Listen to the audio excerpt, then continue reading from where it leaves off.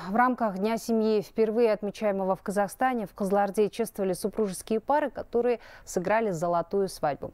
Жители региона поделились своими секретами счастливой семейной жизни.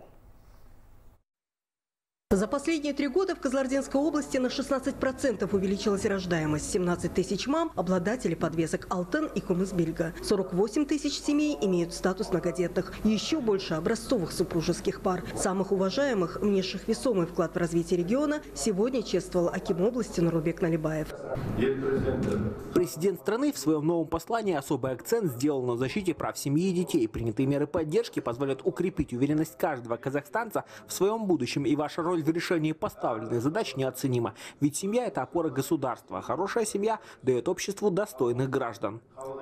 Говорили на встрече о многом, о задачах, стоящих перед каждым казахстанцем и проектах, реализуемых в регионе. Самое ожидаемое – строительство Центра искусств, Дворца бракосочетания, Центра крови и Дома мамы. Своим видением развития общества делились и гости.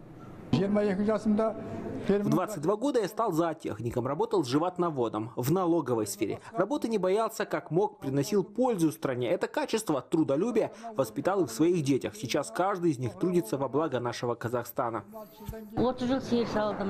30 лет работала дояркой, воспитала шестерых детей. Сейчас у меня 21 внук и 8 правнуков. Для меня важно, чтобы они стали достойными людьми.